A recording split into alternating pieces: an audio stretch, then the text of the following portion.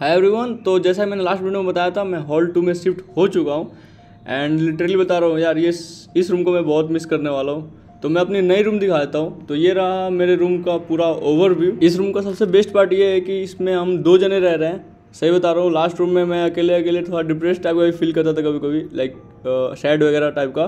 तो इस रूम में हमारे को दो बेड्स मिले हैं ऑब्वियसली दो जने तो दो बेड्स देख सकते हो आप लोग। एंड रूम पुराना है बट काफ़ी स्पेसियस है। स्पेस बहुत ज़्यादा है इसमें, तुम देख सकते हो, हम अपने सामान वगैरह अरेंज कर चुके थे फिर भी रैक्स वगैरह पूरी की पूरी खाली पड़ी है। एंड हमारा पूरा सामान यही दो अलमीराज में है मतलब एक राइट में एंड लेफ़्ट में गेट के।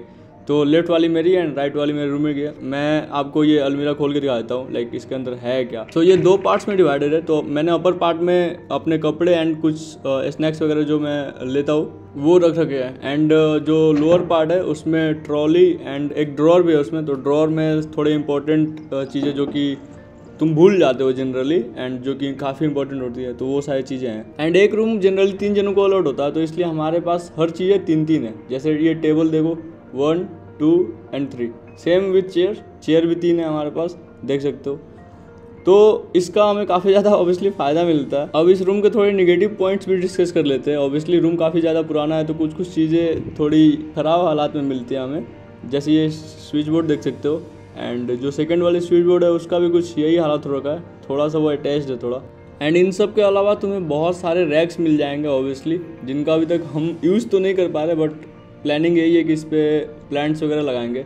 एंड ये जो विंडो है विंडो के बाहर का भी सीन काफ़ी सही हो रखा। अभी मैं बाहर जाके तुम्हें दिखाऊँगा अभी बहुत आ, सही लगता है। आई कानपुर का सबसे बढ़िया चीज़ मैंने बस यही देख रखा कि यहाँ पे काफ़ी ज़्यादा हरियाली है। लाइक पेड़ पौधे के मैटर में भी एंड वैसे भी।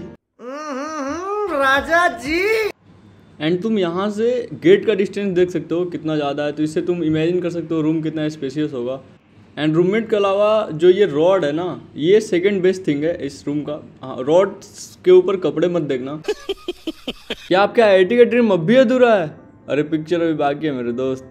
पीडब्ल्यू लेकर आया एक रेवोल्यूशनरी न्यू प्लेटफॉर्म गेट वाला पीडब्ल्यू ने बदल दिया इंडिया का learning landscape with courses that are affordable from top faculties of India for GATE preparation उसी दौरान गेट वाला देगा आपको the best route to crack GATE E S C P S Us BARC ISRO state exams and more ताकि आप entry ले सकते हैं आपके ड्रीम कॉलेजेस में। गेट के हर एक सब्जेक्ट को टैगल करेंगे। इंडिया बेस्ट टीचर जो मिल गए हैं from team Drona GATE Wala के कोर्सेज है काफ़ी अफोर्डेबल प्राइस में।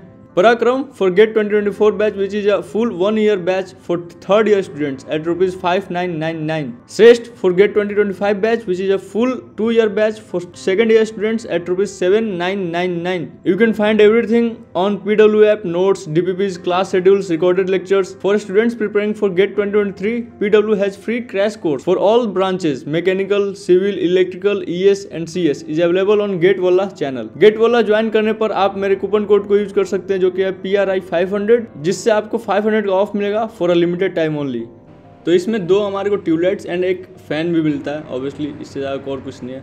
एंड ये रहा बाहर का सीन बाहर का सीन कतई बता रहा हूँ लाइक तुम्हें लगेगा ना कि तुम पूरे के पूरे नेचर की गोद में हो। एंड यही सबसे ज़रूरी चीज़ चाहिए रहता है कि स्टूडेंट को।